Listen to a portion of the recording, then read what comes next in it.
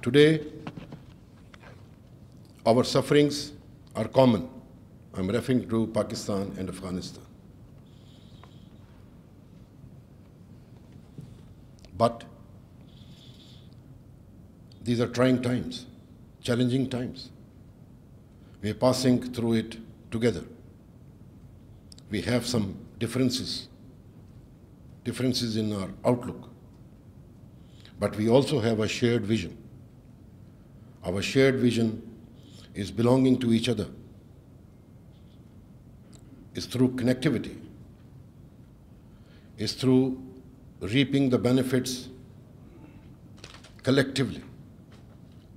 We are very sincerely trying to help out the reconciliation. We are trying to play our role in bringing peace